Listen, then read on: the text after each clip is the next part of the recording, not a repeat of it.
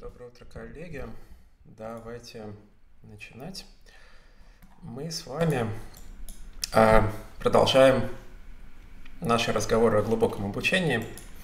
И мы, наконец, переходим к той части, которую я обещал и анонсировал, э, а именно к той части, которая посвящена порождающим моделям в глубоком обучении.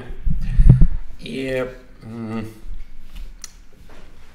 мы довольно, естественно, долго будем об этом говорить, отвлекаться периодически обратно в дискриминирующие модели. У нас будет много разного интересного происходить здесь. Но а, так или иначе, в целом, давайте начнем с того, что э, вспомним, что такое вообще порождающие модели. Если я ничего не путаю, я вам это рассказывал в прошлом семестре. То есть, что модели в машинном обучении – бывают дискриминирующие и порождающие. Да? И дискриминирующие модели обучают какое-то условное распределение, там, P от Y при условии X. Порождающие обучают совместное, ну или просто P от X распределение самих объектов. Ну и, соответственно, если мы хотим научиться отличать котиков от песиков, то это дискриминирующая модель, а если мы хотим научиться рисовать новых котиков, то это порождающая модель.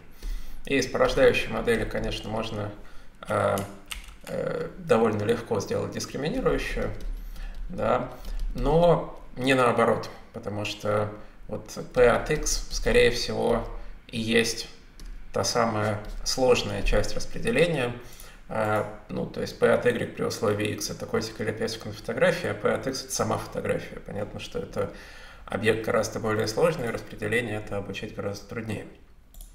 Вот. И у нас был такой характерный пример, если опять же я ничего не путаю, если путаю, скажите. Э, мы устанавливали соответствие некое между порождающими и дискриминирующими моделями на примере логистической регрессии и наивного байса.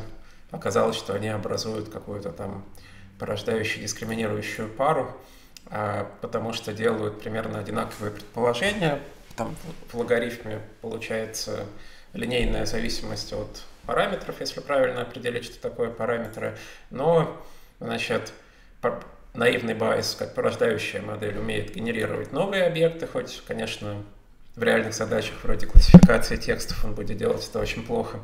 А дискриминирующая модель в виде логистической регрессии умеет э, делать это э, гораздо более выразительно классифицировать те самые тексты, и она не ограничена признаками, используемыми в наивном байсе, но а, а, значит, но да, не ограничена признаками, используемыми в наивном байсе, но зато а, не может порождать объекты. Вот. Ну и естественно, когда а, глубокое обучение начало свой победоносный марш по э, ландшафту нашей науки, э, люди попытались обучить, э, попытались научиться обучать и порождающие модели, тоже с использованием нейронных сетей. И давайте я, значит, э, кратенько начну с того, что дам какую-то общую классификацию того, что там происходит – на самом деле самое главное различие, вот если мы возьмем все порождающие модели, ну, в том числе и глубокие порождающие модели, то самое главное различие это будет между моделями, которые явно моделируют плотность, explicit density models, сейчас объясню, и моделями, которые неявно моделируют плотность, implicit density models. То есть о чем здесь речь? Ну, в explicit density моделях, которыми мы, о которых мы сегодня как раз говорим, а, мы можем записать вот этот самый P от X, а, и мы знаем, а, мы можем для какого-то нового X, если у нас есть обученная такая модель, посчитать P от X. Ну, например, вот наивный байс – это типичная модель с явной плотностью, потому что вот, пожалуйста, мы делаем эти предположения, да, э, и дальше если у нас новая пара XY, мы легко можем ее плотность посчитать. А в моделях с неявной плотностью так не получится. И тут э, может возникнуть такой вообще, может возникнуть вообще непонимание, а как, как вообще так может быть, как я могу построить модель машинного обучения, которая должна уметь моделировать иксы, но при этом э, она и из нее плотность не извлекается. Ну, на самом деле, во-первых, например, э, это могут быть модели, которые что-то сэмплируют. Вот э, мы с вами э, говорили про там, методы Марков Чейн Монте-Карло например, как они устроены. Там есть сэмплер с явной плотностью, действительно, и чего-то мы там куда-то ходим, что-то как-то, значит, э, туда-сюда обратно ходим, но можем ли мы... А нет, там можем, извините, плохой пример. А, нет, как раз в наших тех все методах можем посчитать, пардон. Без этого у нас Metropolis Gastings бы не работал. Но, э, значит, Давайте такой, наверное, пример. Э, как, как устроены глубокие э, порождающие модели с неявной плотностью? Они обычно занимаются как раз сэмплированием, но сэмплированием не в смысле да, вот Марков Чейн Монте-Карло как раз, пардон, а в смысле взять какое-то, значит, взять как, какую-то величину со стандартным распределением и вот этот z пропустить через сеть, и на выходе из сети, вот это, собственно, и есть модель, которую мы обучаем, а, получить уже x из того распределения там, котиков, которые мы хотим. Да.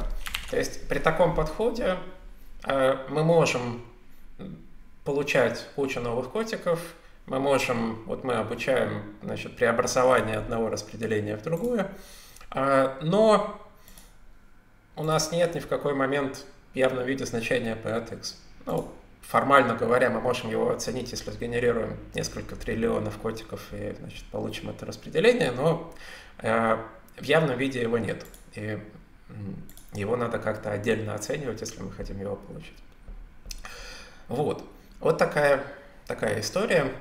А, и, значит, к моделям с неявной плотностью относятся, например, GAN, Generative Adversarial Networks, о которых мы много будем говорить, но сегодня в основном будем говорить про модели с явной плотностью. То есть мы можем, а, мы, мы должны сделать какие-то предположения о том, как устроено P от X. Ну, тут опять же есть э, дальнейшее тут разделение.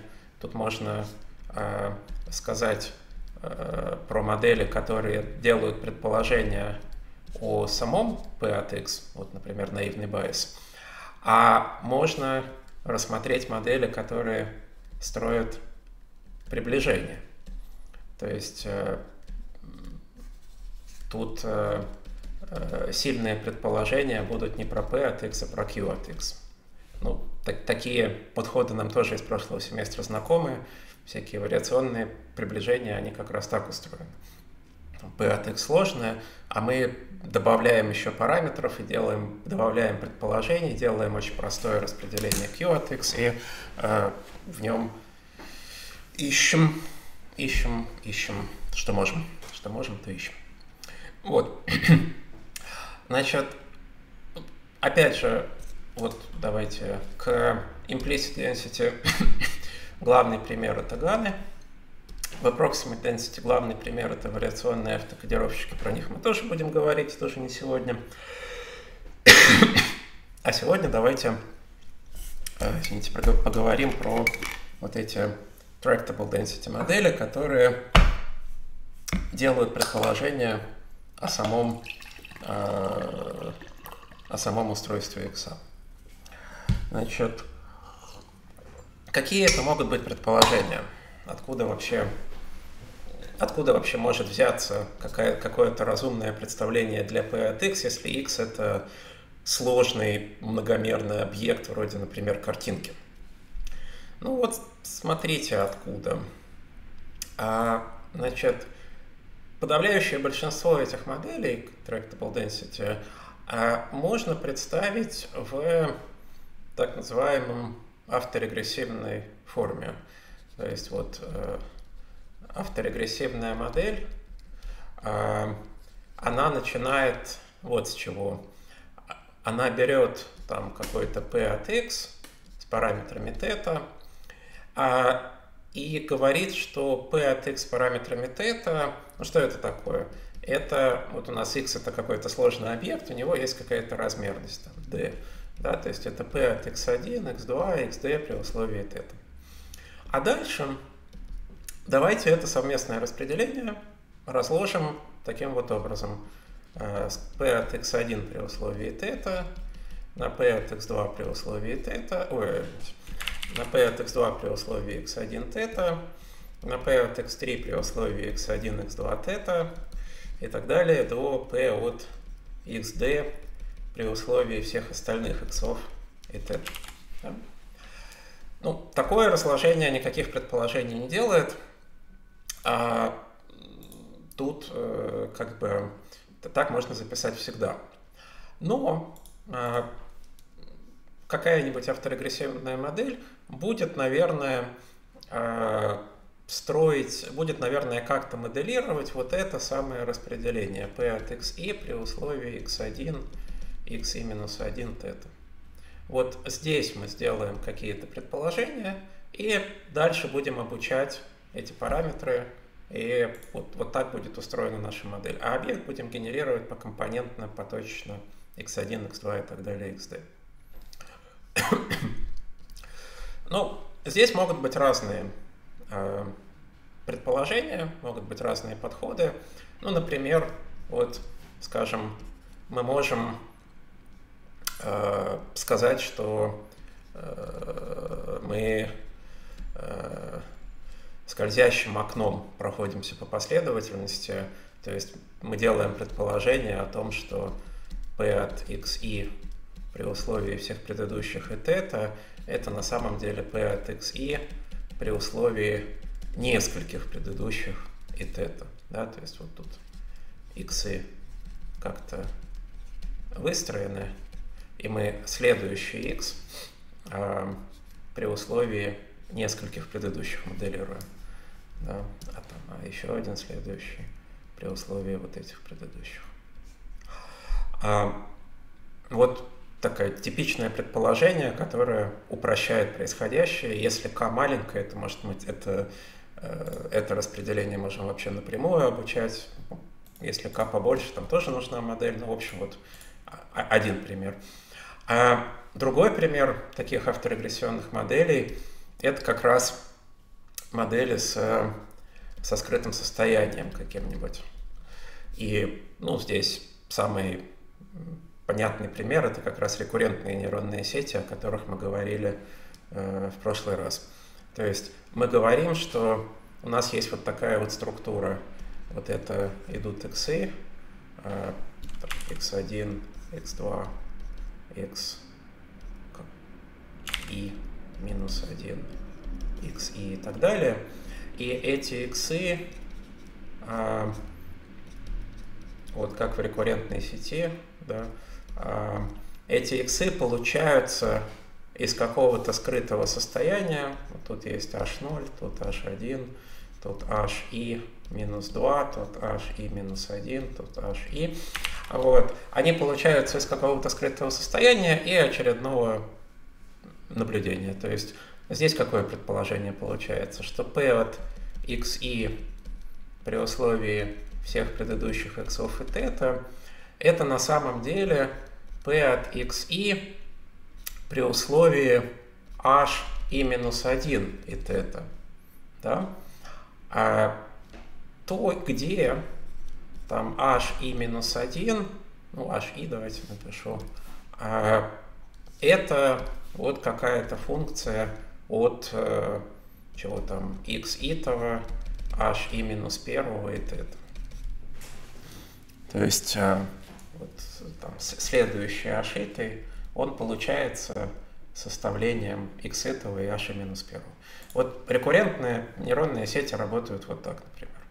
И это тоже типичный э, пример того, как можно э, построить модель с явной плотностью, которая да, модель с явной плотностью, которая делает какие-то предположения, но видите, эти предположения, как мы видели в рекуррентных сетях, они не такие уж э, сильно ограничивающие. То есть мы можем тут сделать довольно много всего интересного, и э, вот структура этой функции f и этого распределения p может быть довольно сложной. Вот. А, тоже сразу давайте анонсирую, что Авторегрессионные модели – это, конечно, большинство моделей с явной плотностью, но не все. Можно и что-нибудь другое тут придумать. Вот такой яркий пример, о котором мы, я надеюсь, успеем поговорить в этом курсе, это модели, основанные на потоках. Ну, сейчас я говорить про них, конечно, не буду, но смысл там в том, что вместо того, чтобы строить что-то покомпонентно, мы набираем P от X как э, композицию относительно простых преобразований, ну, соответственно, они параметризованы. То есть это какое-то там стандартное, ну, справа надо написать, какое-то стандартное P0, а, а дальше тут какие-то функции к нему применяются. А, и таким образом исходное преобразование – Э, постепенно, исходное распределение, простое, из которого мы умеем сэмплировать, постепенно превращается в более сложное. Вот. Тоже интересная, э, интересный набор моделей, про них, надеюсь, что поговорим. Вот, вот такие дела. Значит, это такая некая общая структура.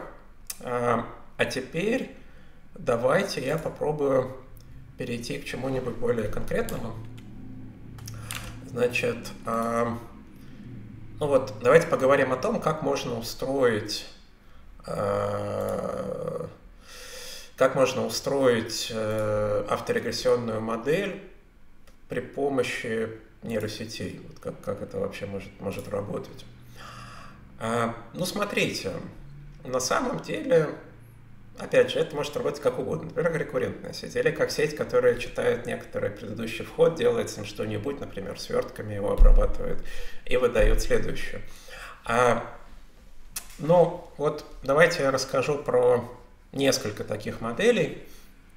А, они, конечно, в основном уже исторический интерес представляют, но, как обычно в курсе, я а, рассказываю не о том, что нужно бежать программировать, а о том, что на практике, э, о том, что, что, что дает какие-то э, эти самые, о том, что дает какие-то какое-то понимание происходящего. Вот первая такая модель это Mate, э, и значит, MA значит Masked Autoencoders, DE я уже забыл, наверное, там for density estimation, что-то в таком духе, но неважно. В общем, э, маскированные автокодировщики. И она, давайте, позволит нам вспомнить, что такое автокодировщик, во-первых. Ну, а во-вторых, просто изящная конструкция. Вот смотрите, есть у нас вход x1, x2, xd. Значит, что делает с ним обычный автокодировщик? Вот, напоминаю он, у него есть часть кодировщик, энкодер, а, который делает из этого x какой-то другой вектор z, ну, скорее всего, меньшей размерности. И потом есть декодер, который, а, а, значит, выдает вектор такой же а, размерности. Ну и когда мы обучаем автокодировщик, мы просто хотим, чтобы декодер восстанавливал x из его сжатого латентного кода z. То есть, условно говоря, наша функция ошибки это какая-нибудь там норма разности x крышечкой минус x, мы ее хотим минимизировать. Вот такой вечный вопрос, а, на который мы дадим несколько разных ответов в этом курсе, это, смотрите, Автокодировщики – это очень э, хорошая, такая понятная архитектура, которые, казалось бы, учатся рисовать котиков. Смотрите, вот у меня x – это какой-то большой объект высокой размерности, и вот этим преобразованием он внезапно попадает в пространство гораздо меньшей размерности, там, не знаю, R500 из своего там R3 миллиона. А, а потом эта точка обратно разворачивается в замечательного почти такого же котика, да, x крышечки. И, собственно, возникает вопрос, а если мы взяли автокодировщик и обучили его, и он начал действительно а, замечательно восстанавливать котиков, почему это не является уже готовой, прекрасной порождающей моделью? Зачем нам вообще что-то еще? Давайте просто возьмем новый какой-нибудь Z, а, прогоним его через декодер, и он нарисует нам нового котика. Что что здесь, э, в чем подвох? Нам нужно угадать хороший вектор Z.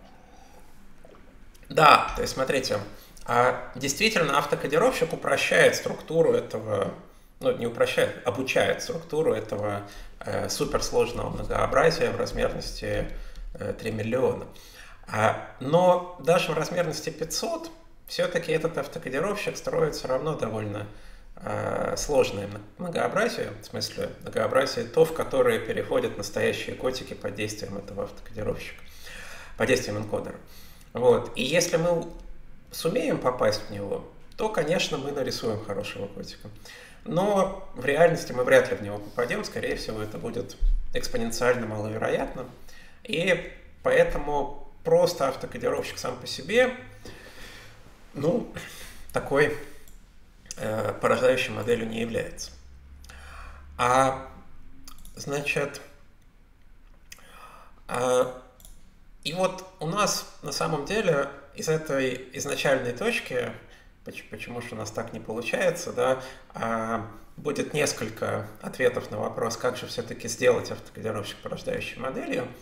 Но сейчас ответ вот из этой э, корзинки ответ из Tractable Density Models. А, давайте попробуем все-таки автокодировщик построить немножко по-другому. Значит, а именно давайте вот так попробуем построить. У нас по-прежнему на входе x1, x2, xd, да, а, но теперь, давайте побольше нарисую, x1, x2, x3, x4 и потом xd. Да. Вот. Но теперь давайте я попробую э этим автокодировщиком а, формализовать, ну, то есть он уже такой не совсем автокодировщик будет, это будет другая немножко архитектура, сейчас вы видите. Давайте я попробую им а, сделать, это будет автокодировщик, давайте я попробую им сделать а, порождающую авторегрессионную модель. То есть у меня вот здесь x1, x2, xd, справа у меня э, там x1 с крышечкой, x2 с крышечкой, x3 с крышечкой, x4 с крышечкой, э, xd с крышечкой. Я по-прежнему хочу э, обучать его вот таким образом, да, то есть я по-прежнему хочу, чтобы это был автокодировщик, который восстанавливает x по x, но теперь а, я хочу, чтобы он моделировал вот это авторегрессионное предположение. То есть, например, я хочу, чтобы x1 с крышечкой, а он вообще ни от чего не зависел, получался просто из p от x1. То есть вот эти входы, они не оказывают влияния на первый выход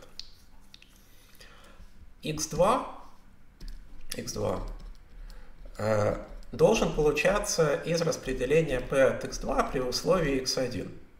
То есть у меня в этой архитектуре, которую я буду строить, будет связь из x1 в x2, а из x1 в x1 не будет связи. Потом, соответственно, там x3 должен взяться из распределения p от x3 при условии x1, x2. То есть вот в x3 с крышечкой у меня должны, э, на него могут повлиять x1 и x2, а x3 и все последующие не могут повлиять. Ну, и так далее, как вы понимаете. Вот, значит, в X4 у меня войдет э, три входа, э, и так до самого конца, а в самом конце там, в XD войдут, смотрите, все, э, кроме последнего. Вот XD не входит никуда. Вот. То есть я бы хотел, а, я бы хотел, чтобы моя а, конструкция, моя архитектура обладала вот таким свойством. Если я так сделаю, то, а, в принципе, дальше я могу просто обучать ее как автокодировщик, подавать на вход x и ожидать, что на выходе тоже будет x, у меня понятные функции ошибки, понятно, как тащить градиенты, все, значит, нормально будет работать. Ну вот, э, made, Masked Autoencoders, это как раз такая конструкция. Ну, она, как там примерно это делается, вот это уж совсем нам не важно. Ну, так, условно нарисую. А, они это делают просто из multi-layer перцептронов. То есть там есть, скажем, какие-то скрытые слои, да, а вот, скажем, у меня 4 входа и 4 выхода, соответственно. Вот, вот, соответственно, я хочу, чтобы в первый выход ничего не входило, он как-нибудь сам будет просто обучать глобальное распределение. Во второй выход, ну, я имею возможность э, подать что-то из первого входа. Ну, давайте вот, например, вот так вот эту часть я посвящу второму выходу. А это, вот я как рисую эти самые линии, это связи, соответственно, между нейрончиками, ну и вот forward propagation идет так, а backward propagation идет обратно. То есть вот это x, э, где? Вот это x, а вот это x крошечкой. Вот. Потом э, в x3, смотрите, я могу э, дать те же самые нейрончики, которые были в x2, и еще чего-нибудь добавить. Ну вот, например, давайте я еще один нейрончик добавлю. Вот. А, и, ну, соответственно, сюда я теперь имею право вот эти подать. Что я еще имею право сделать? А, и сюда я имею право вот это подать. Вот так. Да? То есть x2 а, теперь может участвовать в порождении x3. Ну, в x4 там э, еще интереснее. Давайте попробуем нарисовать. Вот эти, конечно, приходят, это приходит, ну теперь весь остаток архитектуры туда приходит. А, и, значит, вот сюда тоже могут приходить все. А, в общем, здесь уже эти последние два нейрончика начинают а, получать все входы, которые можно. Они уже от всего зависят, ну, кроме, соответственно, x4. x4 не идет никуда. Вот. И вот такая получается конструкция. Это как бы полносвязанная сеть, но в ней некоторые связи выкинуты так, чтобы не было пути, например, от, x, э, там, от x2 в x2 на выходе. И чтобы не было пути от x3 в x3 или от x3 в x2 и так далее. Вот. Ну вот э, сама эта работа посвящена тому, как, э, как, как строить такие маски, как их рандомизировать, потому что там, конечно, хочется взять случайный порядок иксов, потому что если фиксировать порядок, то он может оказаться неудачным. Вот. И, в общем, вот про это была эта работа, но я хотел рассказать вот эту суть, что автокодировщик, в принципе, можно сделать порождающей моделью таким авторегрессионным образом. Да. Вот. Дальше развитием вот этой авторегрессионной идеи были модели, ну, они уже более специфические картиночные, а, давайте нарисую картиночку с пикселями. Вот. А модели, которые рисовают, рисовали картинки пиксель за пикселем. То есть а, вот в очередной там момент времени у меня какая-то часть нарисована этой картинки, и я рисую следующий пиксель. Вот этот. А это очередной там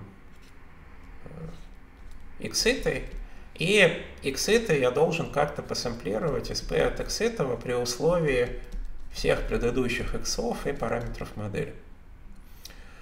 Ну и, соответственно, тут возникает такой вопрос.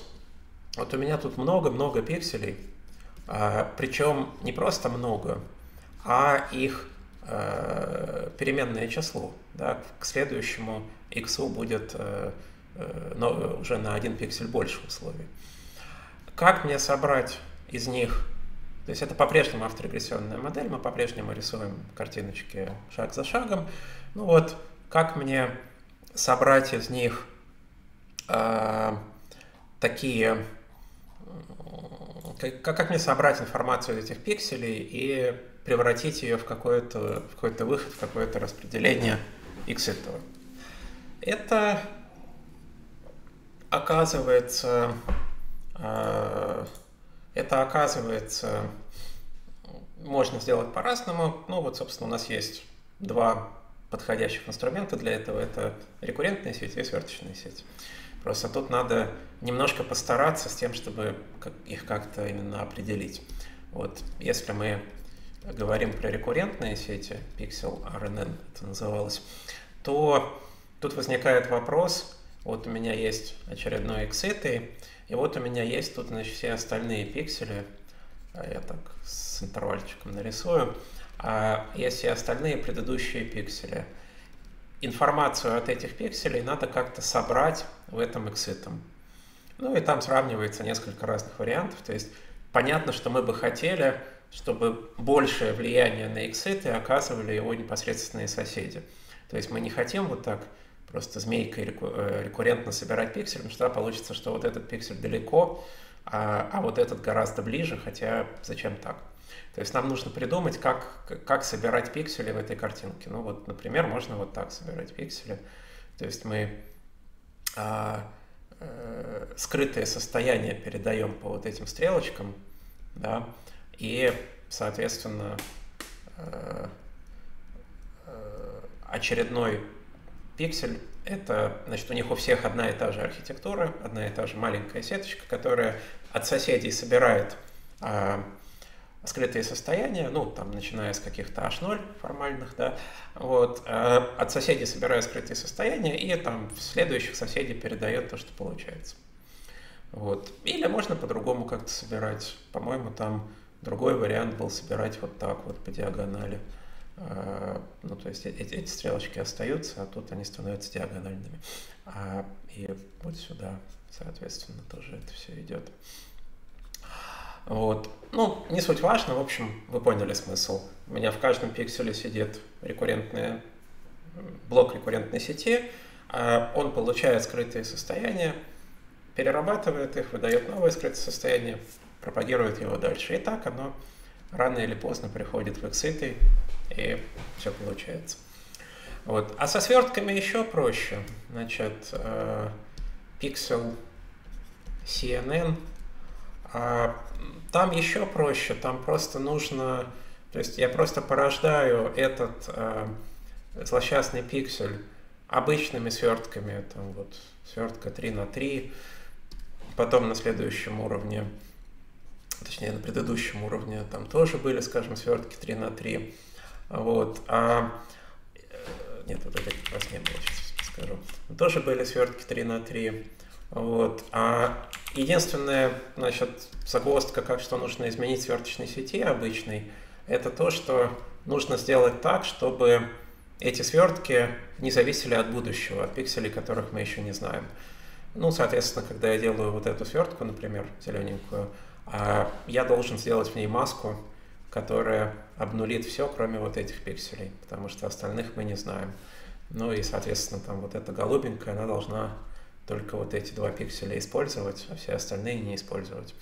Вот, вот, вот такое дело. А в остальном это просто обычная э, сверточная сеть, которая как-то там э, собирает и через несколько слоев выдает вот этот пиксель.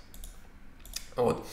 Вот, вот такие были э, ранние попытки устроить в явном виде авторегрессионные э, глубокие модели. Давайте я покажу, как они работали.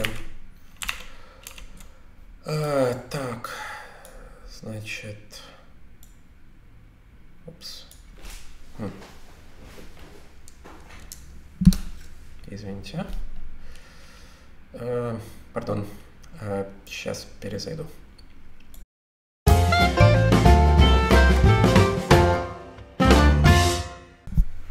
Да, про прошу прощения за технические трудности. Давайте попробуем продолжить. А, я собирался вам показать, а, как это все работало и а, как вот эти первые ранние глубокие порождающие модели выглядели. Ну, про порождающие и дискриминирующие мы когда-то говорили, да. А, мы, например, из случайного шума хотим порождать замечательных котиков. Вот. Порождающие сложнее, чем дискриминирующие, это мы все уже выясняли. Вот. И вот это та картинка, которую я начинал рисовать. Тут, э, э, ну, я не, не всю эту картинку еще рассказал, но в целом мы сейчас находимся вот здесь. Э, в Explicit Density Models, э, в Tractable Density под, э, подразделе. И вот мы сейчас вот эти pixel-wise модели рассматриваем, которые по, по пикселю, ну, которые делят x на отдельные компоненты и поочередно эти компоненты порождают. Вот. Ну вот, mate выглядел вот так. Я примерно такую картинку пытался рисовать. Да. А, и, значит, следующим этапом были вот эти Pixel RNN и Pixel CNN. А, то есть, где тут, ну вот, например, это разные варианты того, как сделать а, рекуррентную сеть. Да? Ну вот мы как раз проходили недавно рекуррентные сети, видите. В принципе, рекуррентная сеть не обязана быть последовательностью. В смысле, ее вход не обязан быть последовательностью. Это может быть более сложная структура, просто тогда а, каждый узел рекуррентной сети должен уметь получать на вход не один, э, не одно скрытое состояние, не H, а несколько скрытых состояний, а так, в общем, никакой разницы нету. Он по-прежнему их перерабатывает, передает куда велено, и э, так это все и работает. Ну, вот в данном случае, например, вот так или вот так мы собираем постепенно эти латентные векторы. А, или CNN. Ну, вот тут у нас есть а, а, значит, следующий пиксель, который мы пытаемся предсказать на основе какой-то свертки. Там, по-моему, нет, нет, у меня тут более хорошие картинки. Но, в общем, обычные свертки, просто мы их делаем маски на те пиксели, которые еще не порождены. Таким образом получается авторегрессивная модель. Вот. И вот, вот так они рисовали картинки в 2016 году. И на самом деле это было неплохо. То есть э, для 2016 года это прямо неплохое порождение, довольно высокой размерности. Более того, они умели легко обобщаться на задачи вроде «а давайте мы часть пикселей закроем, попробуем их дорисовать». Да, для таких моделей, для авторегрессивных, в этом вообще никакой проблемы нету. Окей, значит, часть пикселей мы не порождаем, а подставляем фиксированные. А так ничего не меняется. Вот.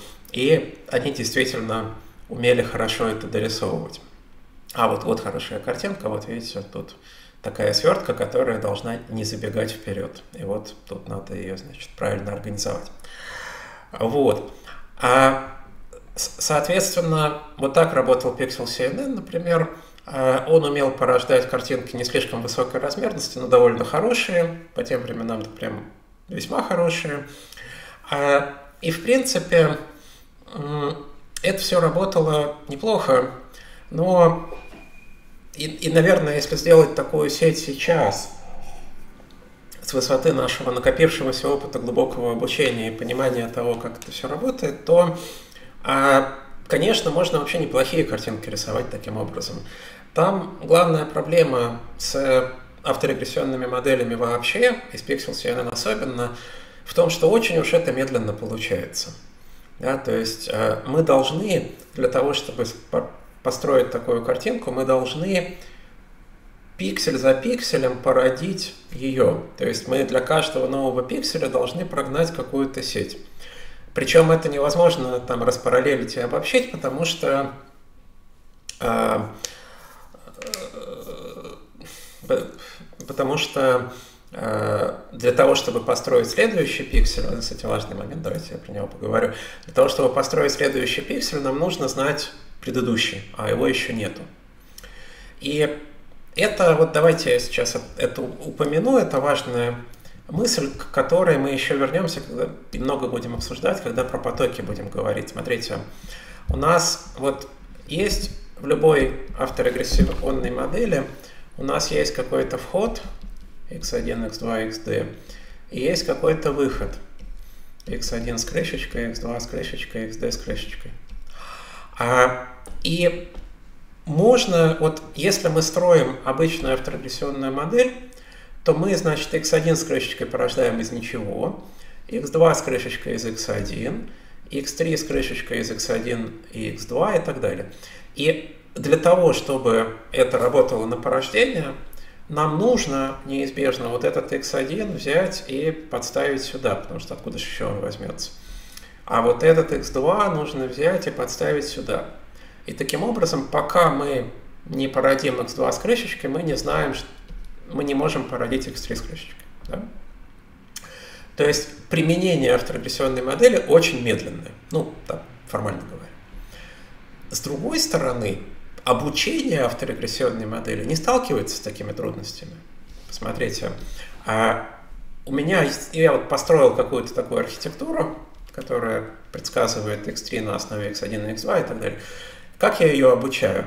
У меня есть какой-то x здесь, у меня есть тот же самый x здесь, который я хочу получить, и я совершенно без проблем уже знаю все x с крышечками. Совершенно без проблем, а, значит, я просто беру этот x, э, извините, значит, совершенно без проблем, зная все x, я могу просто за один проход прогнать всю архитектуру, получить полностью x крышечкой, и дальше его целиком подать на вот эту Э, функцию ошибки, которая будет оценивать разницу между ними. Да? То есть и градиент пропагировать тоже сразу через всю архитектуру.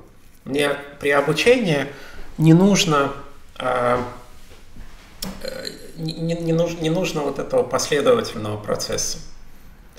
Вот. А то есть обучение тут быстрое, а само использование, само порождение, оно очень медленное. Можно было бы сделать наоборот. Можно было бы сделать, э, ну я сейчас давайте не буду углубляться, вот в потоках я это расскажу подробно. Можно было бы сделать модель, в которой э, напротив применение быстрое, мы генерируем сразу все x крышечкой, но обучение долгое, то есть чтобы э, обучить то есть что, что, чтобы обучить там архитектуру, ведущую к следующему x, нужно знать как что-то из, из предыдущего икса. Вот. А, и вот, вот этот trade-off, то есть либо одно быстро, другое медленно, либо другое быстро, первое медленно, вот он а, важен для порождающих моделей. Как раз а, потоки, которые я упоминал, они заработали всерьез после того, как люди научились эту проблему преодолевать, потому что иначе там либо одно, либо другое работало слишком медленно. Вот, вот такие дела. Значит, да, Pixel CNN. И последняя, наверное, модель в этом разделе, э, в Tractable Density, последняя, но важная модель, а это WaveNet. Значит, WaveNet основан вот на какой идее. Ну, это обычная авторегрессионная модель. Сейчас я, даже не буду перерисовывать, я просто покажу на слайде. Но там супер простая архитектура, вообще никаких, ну там очень мало новых идей именно архитектурных. Вот. Но это была очень смелая мысль в 2016 году попробовать порождать звук, например, человеческую речь, вот так вот э, пиксель за пикселем, то есть отчет за отчетом. Да, вы знаете, что звук это такая а, последовательность амплитуд, да, и как бы все, что мы знаем о звуке, вся классическая наука про signal processing, все распознавание речи, все это говорит о том, что звук а, это что-то такое про частоты. Да, то есть это надо а, надо бы построить спектр этого сигнала, взять преобразование Фурье, потом может быть кепстер этого сигнала, а, значит, оттуда по поискать какие-то, значит, параметры. Ну вот стандартные признаки, которые в звуке выделяются, они выглядят так. А вот эти дипмайндовские исследователи пришли и сказали, ну да, ну частоты понимаем, но давайте все-таки брать и просто порождать следующий отчет на основе предыдущего. Вот. То есть у них сверточная сеть, и поскольку звук это реально одномерная последовательность, тут вообще никаких проблем нету, все очень просто. Тут только две вещи нужно обеспечить. Во-первых, свертки, как всегда, не должны забегать вперед. То есть вот э, следующий отчет э, из предыдущего получается. А во-вторых, все-таки звук это такая штука с высокой частотой, и нам бы хотелось иметь как можно больше окно. Да, нам бы хотелось, чтобы там, э, когда мы э, порождаем следующий отчет, сеть имела возможность посмотреть не на 100 миллисекунд назад, а хотя бы там на пару секунд назад. Да? И для того, чтобы это обеспечить, нужно, конечно, строить свертки не так, как сверху нарисованы, а максимально разреженные. Ну, то есть, например, вот э, здесь, видите, на каждом слое мы удаляем, э, как мы оставляем один путь из каждого входа к выходу. Да, вот здесь путей много, вот этот, видите, этот вход, он по-разному доходит до выхода. А здесь мы оставляем один путь, превращаем сверточную архитектуру в дерево. И таким образом мы избавляемся, мы, таким образом наш каждый слой как бы получается, что не аддитивно увеличивает окно, а мультипликативно его, ну, скажем, удваивает, как в этом примере. То есть вот первый слой тут свертки смотрят на 2 а, отчета, как и здесь. Но во втором слое уже на 4, в третьем на 8, в четвертом на 16. Вот такая тоже идея, довольно стандартная. Уверен, что WaveNet не первым ее придумал. И э, из этой идеи, из этой идеи э, получается, э, получается архитектура. Вот. Опять же, это из тех архитектур, которые относительно быстро обучаются и потом медленно генерируют. Да, то есть это всегда было проблемой. Сама архитектура э, очень простая, там сколько-то слоев. Каждые слои это просто разреженная свертка, Дальше какая-то тут, значит, активация. И через свертку один на один, ну, residual connection, конечно, к следующему слою. А так через свертку один на один, вот это получаются признаки на этом слое. И они потом все вместе собираются, там усредняются, еще пара слоев и софтмакс выход. То есть э, архитектура довольно простая. И еще в 2016 году у них очень неплохо получалось генерировать звук такой вот штукой. Я, видимо, не могу через Zoom э, дать вам послушать, поэтому не буду проходить по ссылке, но можете пройти по этой ссылке. Э, там примеры того, как WaveNet э, разговаривает и очень хорошо разговаривает. Потом с WaveNet стали происходить разные вещи. Ну, давайте не будем углубляться в э, в расширение WaveNet. Вот. Ну, понятно, они там захотели в явном виде построить там вложения для дикторов, чтобы не нужно было отдельную модель для каждого голоса обучать, а можно было подавать это как условие. Там фундаментальная частота, там еще что-то. В общем, всякие лингвистические и акустические параметры стали, стало возможным задавать как параметры для выхода модели. Но все это не решало главную проблему WaveNet, а именно то самое медленное порождение. Вот это оставалось всегда главной, главной бедой. А, и решили ее совсем недавно, но тоже это уже скорее к потокам относится, там расскажу. А, сумели обучить модель, которая теперь наоборот быстро порождает. И WaveNet типа ускорил свое порождение примерно в тысячу раз после этого, что неплохо. Вот. Вот такие дела. А есть еще какие-то другие, более маргинальные идеи того, как строить порождающие модели. Вообще, вот давайте я вернусь на эту картинку. А, смотрите, мы поговорили сейчас вот об этой части, А, мы еще поговорим вот об этой части, еще поговорим вот об этой части. А, прямо сейчас начнем разговор про вот эту часть, про Ганы. А есть еще какие-то, значит, более маргинальные вещи, которые, видимо, в итоге ни к чему хорошему не привели, но звучат интересно. Например, вот Generative Stochastic Network. А, а, вот, вот, это, да, это, вот это правильно, как MCMC э, методы превращаются в неявную модель. Там как бы а, марковская цепь, вот это с переходами, моделируется нейронной сетью. То есть мы как бы обучаем не P от X и применяем потом к нему алгоритм Метрополиса Гастингса, а мы обучаем вот эти переходы марковской цепи. Это проще. И они могут обучиться, а потом мы уже используем эту сеть несколько раз и считаем, что то, что получилось, это сэмпл из исходного распределения, как в обычных Марков Чейн Монте-Карло. Это называется Generative Stochastic Network, но вот с 2015 года про них не слышно, поэтому, наверное, не масштабируется. Вот. А мы с вами двигаемся дальше. Я, как обычно, тороплюсь, потому что э, э разговор еще э, разговор в нашем курсе еще долгий, еще много всего хочется рассказать, а мы уже э, перевалили за середину. А, и давайте я перейду к э, одной из главных тем в порождающих моделях – а, а именно к порождающим состязательным моделям Generative Adversarial Networks. И про них мы будем явно говорить не только сегодня, но и через неделю, и может еще. А порождающие состязательные сети пытаются решить вот какую проблему. Смотрите. Значит, э, давайте вернемся. Вот я уже поставил задачу о том, что непонятно, как из автокодировщика сделать порождающую модель. Но можно как бы еще более а, можно еще более простым вопросом задаться.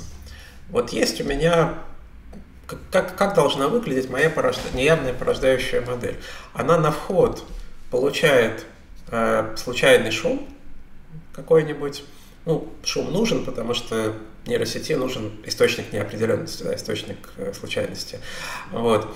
Значит, случайный шум проходит через модель, и в итоге должен получиться какой-то котик.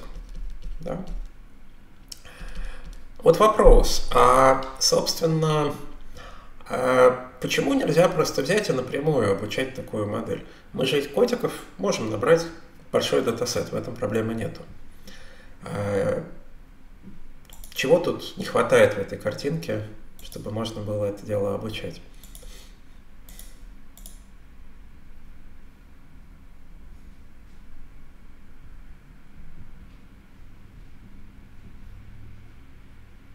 Может быть, непонятно, непонятно да, понимать, а действительно ли котик получился на выходе. Ну, то есть мы из шума что-то нагенерили, но как мы поймем, что это кот? Да, совершенно верно. Смотрите, а датасет-то я мог собрать и соберу, но какой к этому, какая к этому датасету приложена функция ошибки, непонятно. Да? То есть, окей, вот у меня z, вот я породил из него x, и у меня тут какой-то, значит, какая-то получилась картинка. А как оценить котиковость этой картинки? Непонятно. И вот Ганы, Generative Adversarial Networks, а, отвечают на этот вопрос очень интересным образом – Значит, вот эта часть будет называться генератором. А, а дальше идея такая. Давайте обучим еще одну модель, другую, которая будет называться дискриминатором, а, которая решает просто задачу бинарной классификации. А, ей на вход подают а, то настоящих котиков – x real, давайте назовем, то вот таких вот порожденных котиков, фейковых. И дискриминатор, соответственно, хочет отвечать, э, ну что, хочет, он хочет отвечать 0, если это фейк, и, скажем, единичку, если это настоящий котик. Да? Вот. То есть дискриминатор это тоже модель. Ее тоже надо обучать, у нее тоже есть свои веса.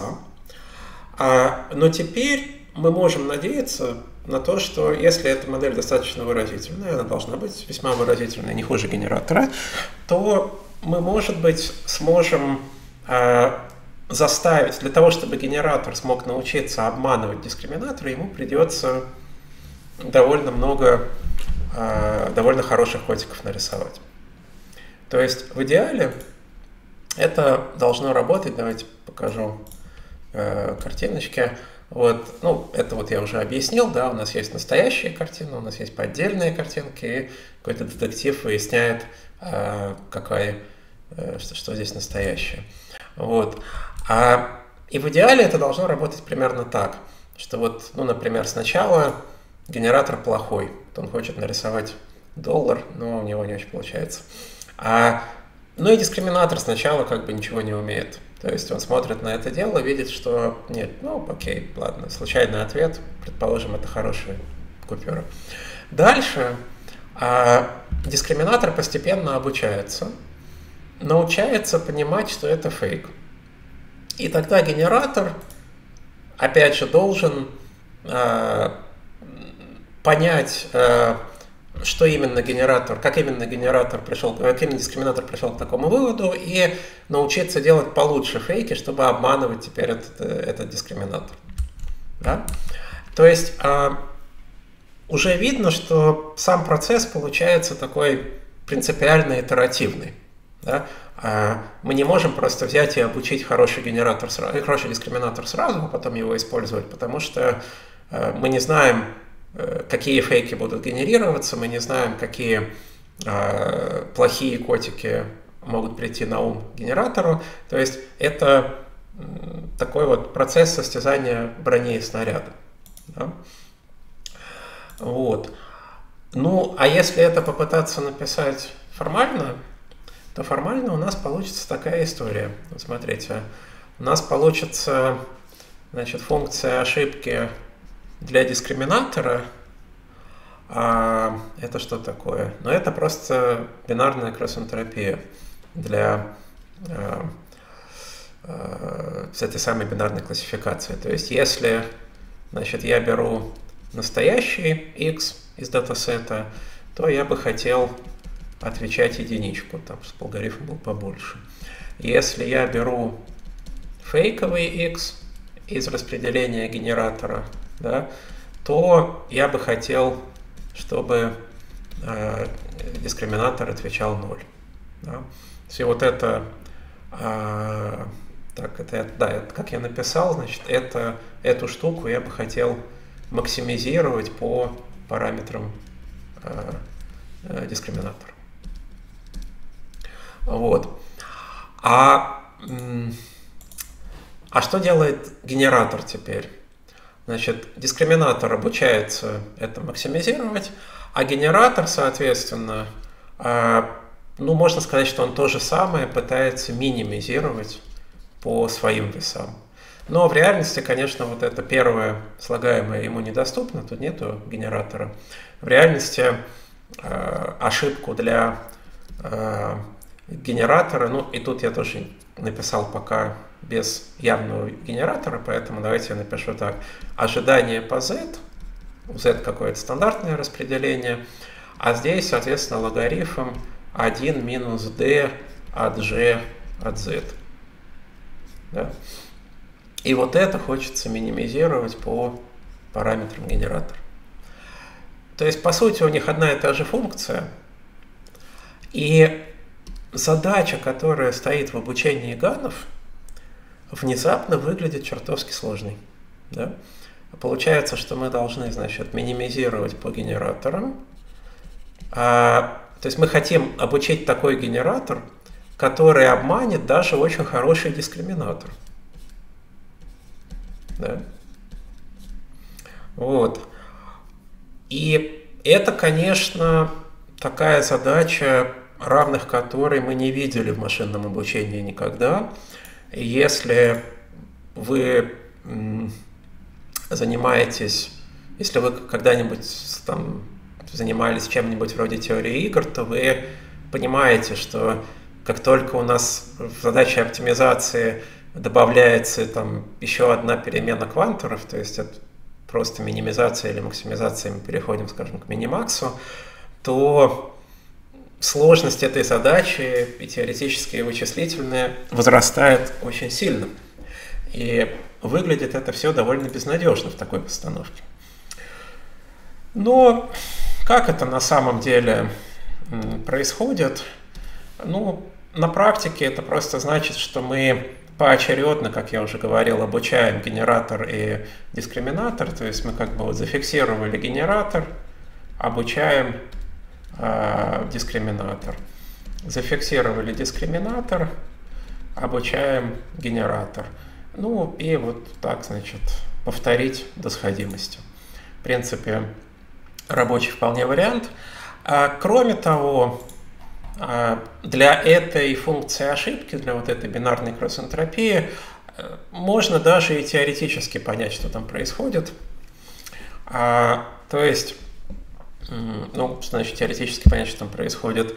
А, смотрите, предположим, что мы, предположим, что мы зафиксировали генератор, какой тогда будет оптимальный э, дискриминатор для этого генератора?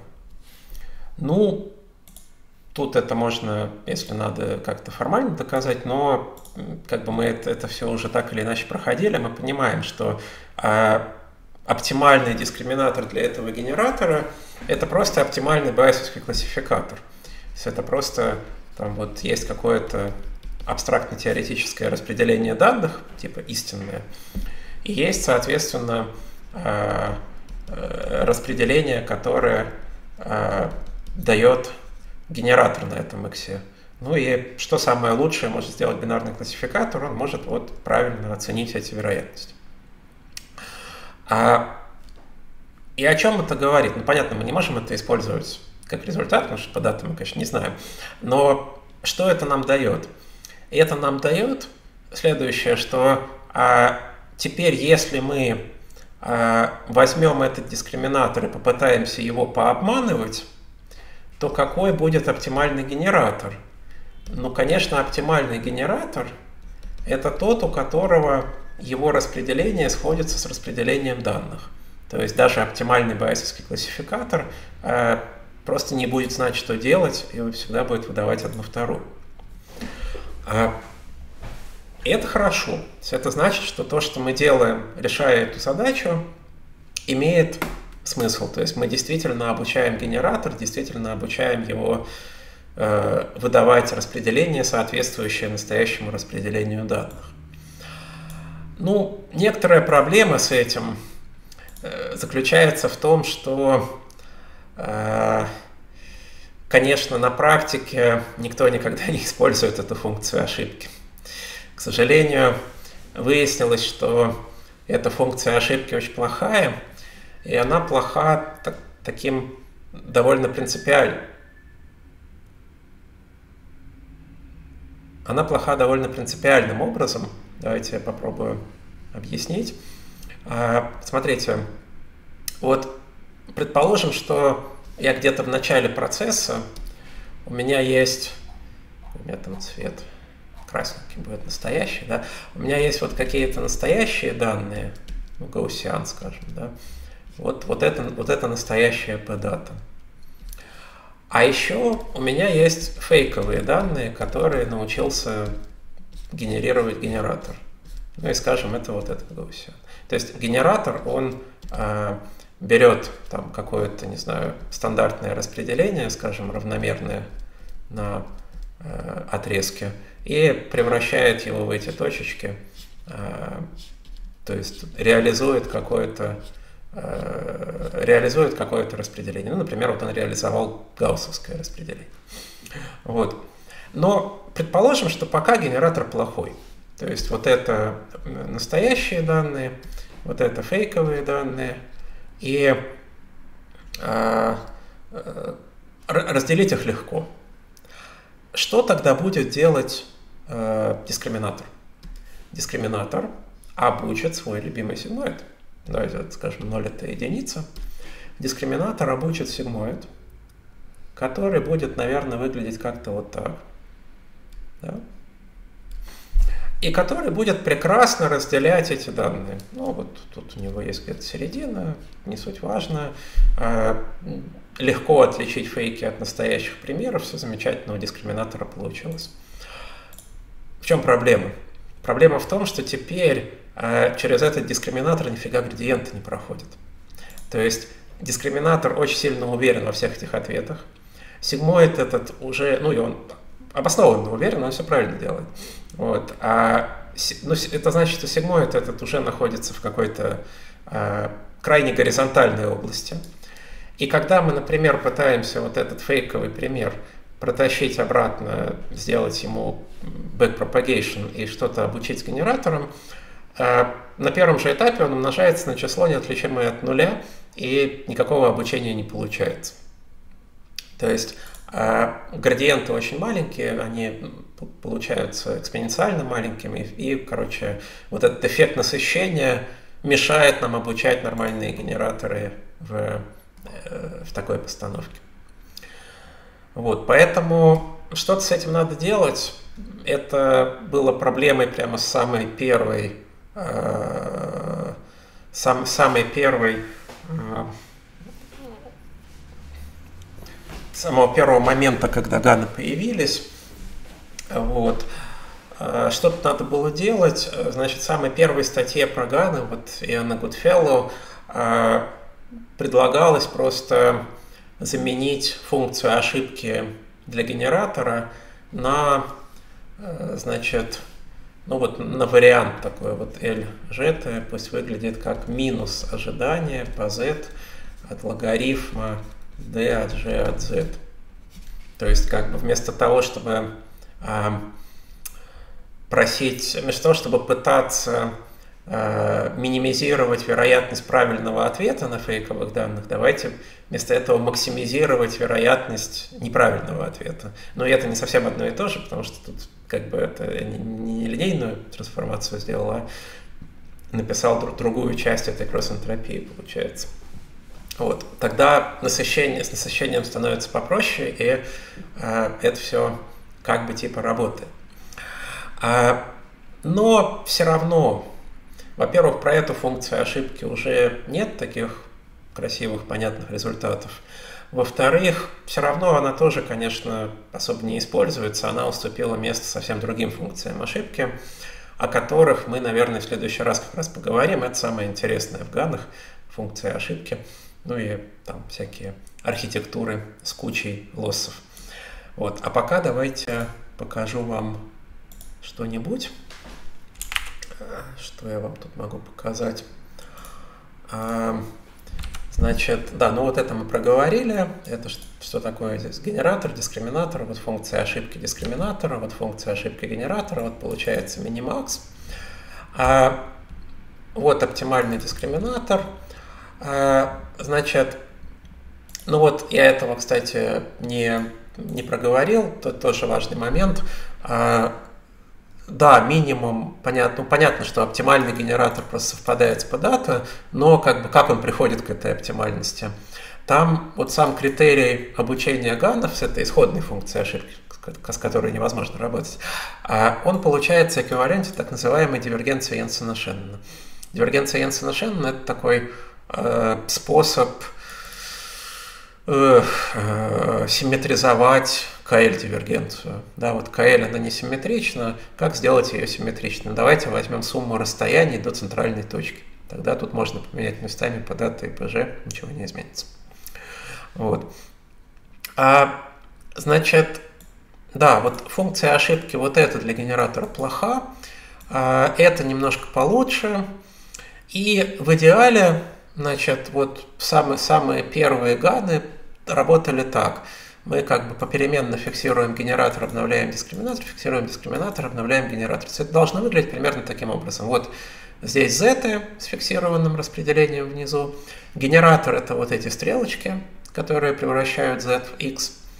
И, ну, например, генератор обучает нормальное распределение. Черные точечки это данные, Значит, мы хотим, чтобы нормальное распределение наше совпало с этими черными точечками.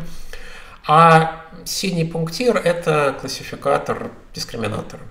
То есть сначала он какой-то случайный, потом, вот смотрите, дискриминатор обучился, начал хорошо разделять эти два гаусиана. Дальше что мы взяли? Мы взяли генератор, подправили его так, чтобы он стал плохо разделять эти два гаусиана. Но обратите внимание, что он еще не совпал с точками данных, потому что мы не знаем, как это сделать. Мы знаем только, э, как попытаться обмануть дискриминатор.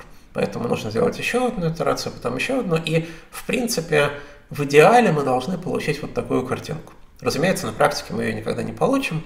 Вот, но в идеале, значит, э, прекрасно совпадает с податой, и тогда дискриминатору ничего не поделать, он всегда отвечает одну вторую. Вот. Вот самые первые ганы работали примерно вот так. Они, э, ну что они, э, вот, например, э, ган, обученный на Эмнисте, если помучиться сделать хорошую архитектуру, хорошо обучить, э, то даже самый простой ган может генерировать рукописные циферки в, размер, в разрешении 28 на 28. Вот. Здесь а, значит, примеры сэмплов, а справа выделены а, ближайшие соседи из реального датасета. То есть это чтобы показать, что модель не просто запомнила эту девятку, она ее нарисовала, потому что вот самая похожая девятка, она все-таки отличается. Вот. Ну вот они неплохо работали на этом датасете, неплохо работали на этом, но когда там начиналось что-то более сложное, конечно, первые ганы уже не справлялись. Вот. А есть некая наука, некое рассуждение о том, почему ганы хорошо работают. А, я не буду в нее углубляться в нашем курсе, потому что, во-первых, ганы это уже не последнее слово науки и техники. Они сейчас используются Э, они сейчас используются, они нужны и важны, и будут оставаться важными, но, видимо, наилучшее именно порождение уже не принадлежит ганам, поэтому ладно. Вот. А дальше история развивалась так. Первым таким вот успешным ганом, который хорошо порождал а, картинки уже более разумного размера, там 64 на 64 цветные, это был DC-ген, Deep Convolutional Gen в 2016 году. То есть, видите, это, э, видимо, после уже Pixel RNN и Pixel CNN. А он, э, ну, у него, в общем, короче, хороший генератор, там, полносверточный, что-то мы про это говорили. Вот, и, значит, что делал DC-ген? Он рисовал картинки интерьеров спален. Вообще, если вы откроете э, ранние работы про порождающие модели, там везде будут эти спальни. Ну, я не знаю, кто первый, но кто-то, видимо, первым использовал это, этот датасет э, как модельный, и дальше, чтобы сравниться с предшественниками, всем приходилось рисовать спальни. Вот. Значит, это вот после там одной эпохи обучения мы получаем вот такие картинки, а когда обучение уже закончилось, сошлось после пяти эпох, мы начинаем получать очень неплохие а, картинки этих самых спален. И вот эта важная картинка, которую я бы хотел, наверное, объяснить. Значит, смотрите, как нам оценить, что ГАН действительно хорошо работает, что он действительно обучил э, распределение, из которого потом можно смело сэмплировать. Ну, в смысле, э, что вот у меня тут есть, значит, какое-то распределение для z, оно, скорее всего, стандартное, там, круглый гаусиан.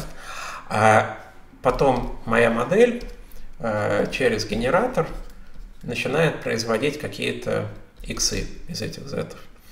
Вот а, как, а, как можно проиллюстрировать, что действительно это преобразование из любого посэмплированного z или там, из многих посэмплированных z будет делать хорошие иксы. Можно, можно сделать вот как. Можно взять а, 2 икса, ну, 2 икса, которые дают хорошие, э, 2 z, 2 z, которые дают хорошие картинки. Вот, например, у меня тут есть какой-то x1, а, а тут есть какой-то Z2, который тоже рисует неплохую спальню X2 или котика. И потом а попытаться, значит, пройти по прямой из Z1 в Z2. То есть в пространстве Z, в пространстве латентных кодов, мы просто а, ну, строим там, несколько выпуклых комбинаций. А, да, там альфа на Z1 плюс 1 минус альфа на Z2. Вот. Прогоняем это через э, генератор, получаем какие-то э, э, иксы. Да? Эти иксы, естественно, не должны выстраиваться напрямую. То есть здесь будет какая-то совсем другая, наверное, будет какой-то совсем другой путь из x1 в x2. А, и нам бы хотелось, вот какая, как, что мы хотим увидеть, проделав такой эксперимент. Нам бы хотелось, чтобы в каждой промежуточной точке вдоль этого пути мы видели не что-то непонятное и бес, бесформенное, а мы видели реально хорошую картинку там котика, спальни, чего нам надо.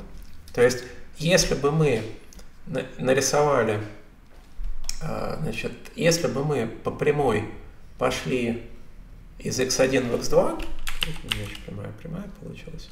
Так. И если бы мы по прямой пошли из x1 в x2, то в пространстве пикселей, вот в этом пространстве там миллион, с размерностью миллион, это бы выглядело, понятно, что очень плохо. Это бы выглядело как там одна картинка проявляется постепенно на фоне другой. И, естественно, где-то в середине это будет вообще непонятно что. А, а нам бы хотелось, чтобы вот это многообразие, которое, на, на которое ну, ну, вот это вот распределение вероятности, в которое переходит стандартный гаусиан, чтобы оно было красиво, чтобы там все, все было везде хорошо. Поэтому, опять же, во многих работах про порождающие модели, если там есть вот эта концепция перевода латентного кода в объект, то, скорее всего, вы там увидите картинки с иллюстрацией вот этой прогулки по пространству признаков. Вот. Ну и вот уже в Десигане это все неплохо работало. А, ну, там есть какие-то другие свойства, там чуть ли не векторная арифметика стала получаться, типа вот мужик в очках минус мужик без очков плюс женщина без очков, получается женщина в очках. Но она там не очень работала, и на самом деле никакого смысла в этом особо нету, поэтому на этом останавливаться не будем. Вот. Но в целом это был такой вот уже один из первых реально рабочих ганов, которые могли э, рисовать картинки. Но, как видите, эти картинки не то чтобы сильно лучше, чем то, что рисует Pixel CNN. Просто они рисуются гораздо быстрее. И они тоже вполне неплохие. Вот. Ну и что еще можно сказать про э, ранние ганы? Э, у них всегда была одна большая проблема, э, которая проявлялась в разных формах, проблема того, что они как бы, ну вот если вы возьмете эту, например, полносверточную архитектуру и будете генерировать картинку, то когда вы генерируете там верхний левый угол картинки, на последних слоях у вас уже нет доступа к остальным частям картинки, понимаете? То есть а, Вообще говоря, конечно, это все из одних и тех же признаков было порождено, там какая-то глобальная когерентность должна сохраниться, но одно дело должна, другое дело как в реальности. И в реальности часто получалось, получаются проблемы с какими-то глобальными свойствами того, что мы порождаем. То есть вот мы начали рисовать песика, и вот мы нарисовали глаз песика, потом нарисовали второй глаз песика, а потом что-то как-то забыли, решили, что это опять первый глаз, и нарисовали третий, а потом еще шесть. Вот. Это были такие типичные проблемы ранних ганов. Вот. А то же самое с перспективой. Мы начали рисовать песика слева, потом задумались и начали рисовать песика под другим углом справа, а, как бы сменив угол обзора, например. Вот. Здесь, кстати, на этой картинке есть подвох. Можете найти подвох.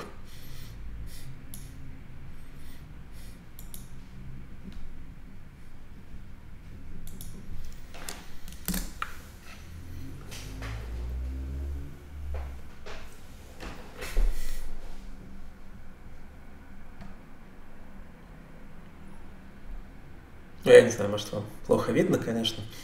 Вот.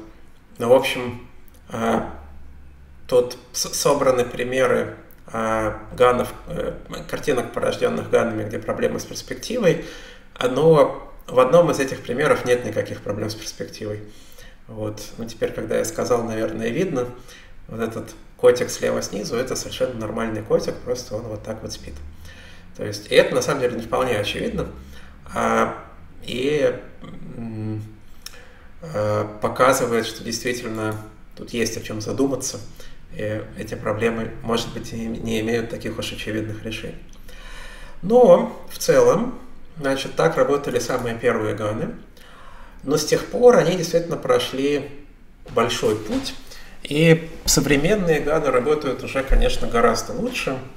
Вот это ган, это, по-моему, Big Gan 2018 года. А, можно, конечно, продолжать эти картинки, просто уже не видно будет разницы. А, и в 2020 и 2022 году появлялись новые а, порождающие состязательные сети, которые делают порождение еще лучше, просто теперь они уже исправляют такие ошибки, которые фиг заметишь на слайде. Я вам потом покажу. Вот. И, собственно, наверное, самое интересное в этом разговоре про Ганы – это то, как же мы прошли этот путь, что мы добавили к этой исходной идее, к исходной идее э, сделать состязание между генератором и дискриминатором. И вот именно этим, наверное, мы с вами будем заниматься в следующий раз. Есть ли у вас вопросы?